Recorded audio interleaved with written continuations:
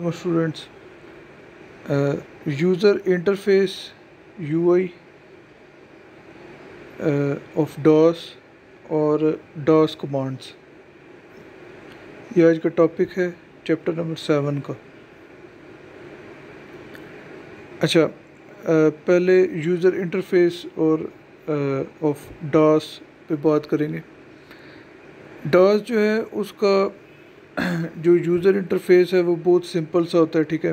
Black screen पीछे होती है और उसके ऊपर जो है क्या है कि हम कमांड्स लिख रहे होते हैं ठीक है? वाइट कलर की फ़ॉन्ट के अंदर वाइट कलर की राइटिंग के अंदर टेक्स्ट में। तो आ, इसका जो यूज़र इंटरफेस है वो सारा कमांड ड्रिवन है ठीक है? यानी कि उसमें सारा काम हमने कमांड से कमांड से करना होता है ठीक है? कमांड दे के कोई भी फ़ाइल कॉपी करनी है, ठीक है? कोई फोल्डर खोलना है, कोई फ़ाइल डिलीट करनी है तो हर काम हम कमांड दे के इसमें करते हैं, ठीक है? तो इसके लिए क्या है कि कीबोर्ड का इस्तेमाल हमें करना होता है, ठीक है? कीबोर्ड से ही हमने सारी कमांड देनी है। माउस का इस्तेमाल इसमें नहीं है, ठीक है? तो इसके, इसको इसका एक कमांड प्रॉम्प होता है, ठीक है? ये जो नीचे हम स्क्रीन देख रहे हैं, इसको कमांड प्रॉम्प कहते हैं। तो यहाँ पर हम सारी इसकी जो है वो कीबोर्ड से कह के कमांड देते हैं और इसको यूज़ करते हैं। अच्छा जब हम एक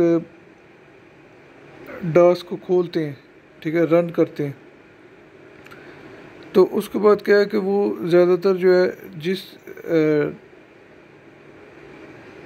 किसी एक ख़ास डायरेक्टरी में खुलता है ठीक है उसको फिर जिस फोल्डर में जाके हमने काम करना है उसमें पहले हम जाते हैं, ठीक है? फिर उसके बाद हम उसको कमांड्स देते हैं। तो वो जो कमांड्स हैं, वो प्रेजेंट डायरेक्टरी पर ही काम करती हैं, ठीक है? ज़्यादातर। यानी कि फ़र्ज़ करें, नीचे अब मैंने सी ड्राइव खोला हुआ है, ठीक है? मैं सी ड्राइव के अंदर हूँ, इस पिक्चर के अंदर। तो अब मैं जो ज़्यादातर कमांड्स दूँगा वो इसी सी ड्राइव के ऊपर ही चलेंगी, ठीक है? किसी और ड्राइव को अगर मैंने कमांड देनी है तो उसको, उसके लिए भी यानी कि मैं कुछ कमांड ऐसी हैं, जो कि मैं यहाँ से ही दूसरी लोकेशंस या दूसरी जो भी ड्राइव वगैरह उनको दे सकता हूँ। लेकिन ज़्यादातर जो कमांड्स हैं वो प्रेजेंट डायरेक्टरी के ऊपर ही काम करती हैं, ठीक है? यानी अगर मैंने सी ड्राइव खोला हुआ है तो इसी पे काम करेगी। एग्जांपल अगर मैं डी आई आर लिखता हूँ एंटर करता हूँ तो इस सी ड्राइव में मौजूद जितनी भी फाइलें और फोल्डर्स हैं, वो सारे मेरे सामने स्क्रीन पे आ जाएँगे, ठीक है? तो प्रेजेंट डायरेक्टरी पे ज़्यादातर कमांड जो है वो लागू होती हैं, ठीक है? उसी के ऊपर काम करती हैं।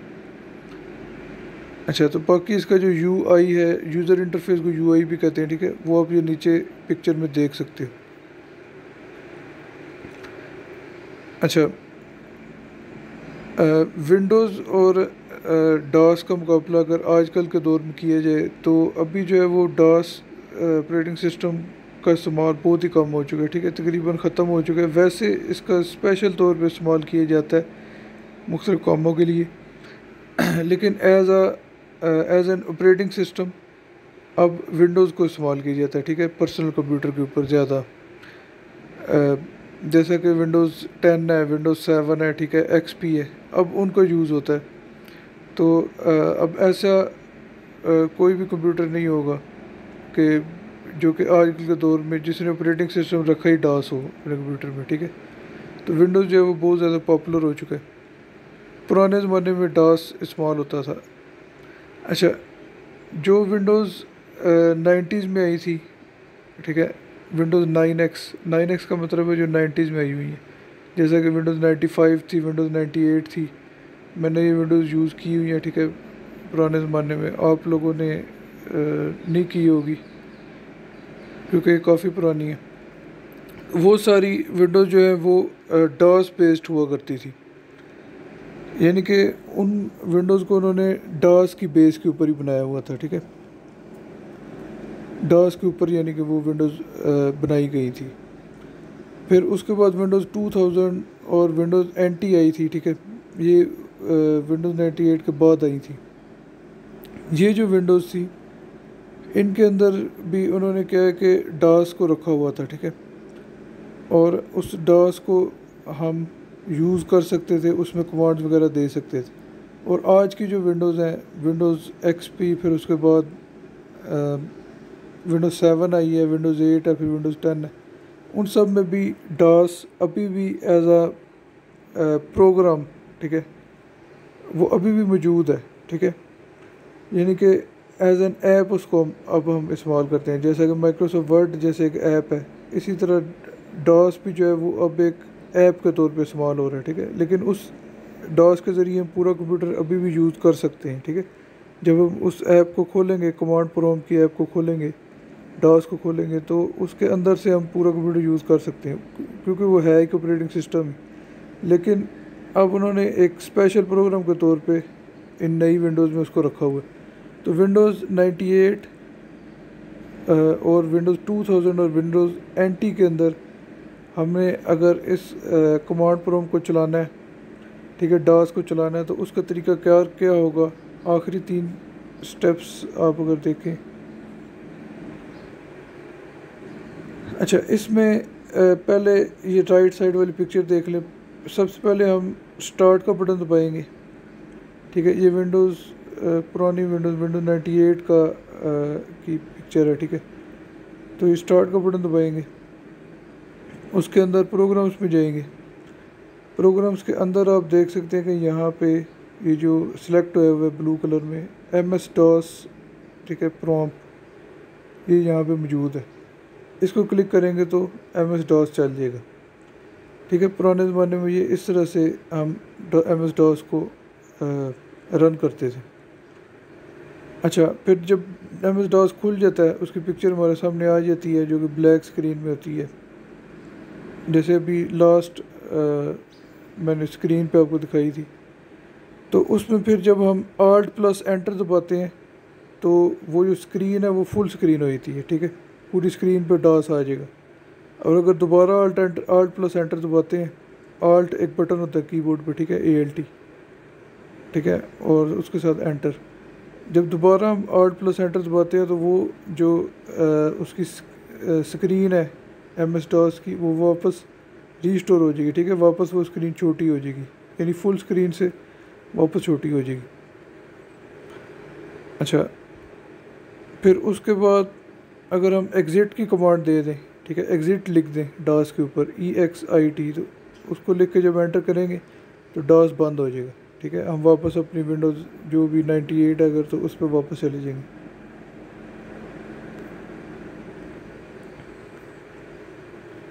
अच्छा नेक्स्ट टॉपिक है डॉस कमांड्स तो डॉस की दो तरह की कमांड्स होती हैं इंटरनल कमांड्स और एक्सटर्नल कमांड्स अच्छा इंटरनल कमांड्स इंटरनल कमांड्स वो कमांड्स होती हैं जो कि कमांड डॉट कॉम एक फ़ाइल है उसके अंदर मौजूद होती हैं। ठीक है? जब हम आ, इसको चलाते हैं डास को तो ऑटोमेटिकली ये जो कमांड डॉट कॉम फ़ाइल है, ये मेमोरी के अंदर लोड हो जाती है, ठीक है? यानी रैम के अंदर ये फ़ाइल लोड हो जाती है और ये सारी इंटरनल कमांड्स क्योंकि इस कमांड डॉट कॉम फ़ाइल के अंदर है तो वो कमांड्स भी मेमोरी के अंदर लोड हो जाती हैं, ठीक है? फिर उनको हम इस्तेमाल कर सकते हैं और जब तक वो डास चल रहा है, ठीक है? कमांड पर हम चल रहा है, तब तक ये मेमोरी के अंदर ही रहती हैं कमांड्स ठीक है? और उसके बाद जब हम उसको बंद कर देते हैं, डास को तो फिर ये मेमोरी से निकल जाती हैं, ठीक है? ये जो कमांड्स है, यानी कमांड डॉट कॉम फ़ाइल फिर मेमोरी के अंदर से निकल जाती है। अच्छा ये जो इंटरनल कमांड्स होती हैं, ये कॉमनली यूज्ड कमांड्स हैं, यानी आम तौर पे इस्तेमाल होने वाली कमांड्स हैं, ठीक है? जो कि हम आम तौर पे इस्तेमाल करते हैं, कोई फ़ोल्डर को खोलना है, उसके लिए डी आई आर की कमांड इस्तेमाल करेंगे, ठीक है? इसी तरह अगर स्क्रीन को साफ़ करना है, जो कुछ भी लिखा हुआ है, सारा कुछ हम चाहते हैं कि मिट जाए। उसके लिए सी एल एस की कमांड इस्तेमाल करेंगे। तो ये आम तौर पर इस्तेमाल होने वाली कमांड्स हैं। ये इनको हम इंटरनल कमांड्स कहते हैं। अच्छा तो इनके जो नाम है, इन इंटरनल कमांड्स के, वो हम डायरेक्टरी लिस्टिंग के अंदर देख सकते हैं। अच्छा एग्जांपल्स में C L S D I R फिर डेल की कमांड है, ठीक है? इस तरह बहुत सी कमांड्स हैं जो कि इंटरनल कमांड्स होती हैं।